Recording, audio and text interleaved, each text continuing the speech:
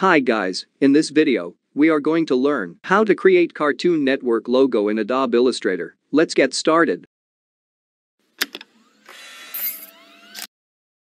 Create a new common artboard in Adobe Illustrator. Select the rectangle tool and draw an rectangle with width and height 224 pixels. Then go to Fill and change its color to black.